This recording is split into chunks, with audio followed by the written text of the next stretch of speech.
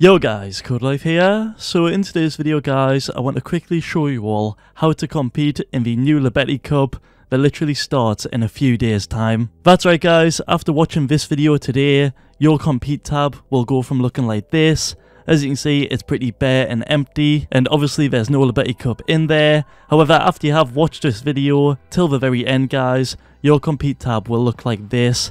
As you can see now, it's got that Llobeti Cup in there, and this means you are all good to compete in it. Obviously, once it does, go ahead and begin, which is in a few days time on the 12th. But yeah guys, before we do jump into the video and I show you all how to register for this cup, I'd appreciate it greatly if you could go ahead and take the time to drop a like on this video, subscribe to the channel if you are new around here, and use code LIFE in the Fortnite item shop. By doing that, you guys will be really helping me out a ton, and I really would appreciate it. Now though guys, guys, let's go ahead and jump straight into today's video.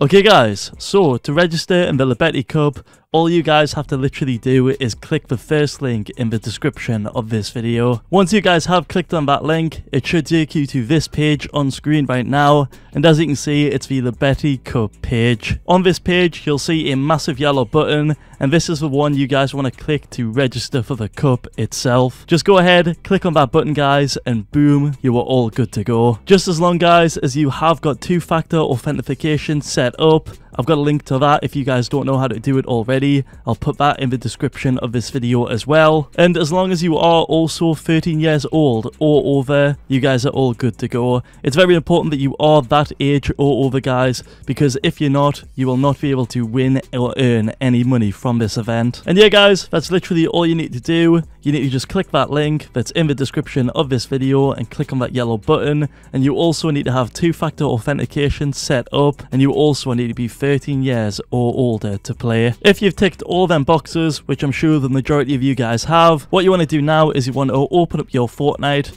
you want to click on that compete tab and boom, right there you should see the Llobeti Cup tournament. If you guys go ahead and click on the cup itself, you'll see all the information you need to know about the cup. You'll see what type of cup it is. Obviously right here you can see it's a trios cup tournament. So you yourself and your two friends or teammates, they'll need to do exactly what you guys have done in this video. So feel free guys to share this video to them directly. That would help me out a ton and it'll help out your friends. And then aside from that guys, you see a bunch of other information. You'll see the time and date of which this cup starts, which will be in your local region. But do keep in mind, guys, that this is a European region cup, so that will obviously translate to your local time zone. You'll see the point system for this cup, which as you can see right here, from the points, it does look pretty placement heavy. You'll see the prize pool for this cup, which I believe it's $10,000. And then you guys will also see the entire structure for the cup itself, which as you can see here, there's three rounds in total. There's round one, round two, and round three. In round one, the top 1,000 teams during that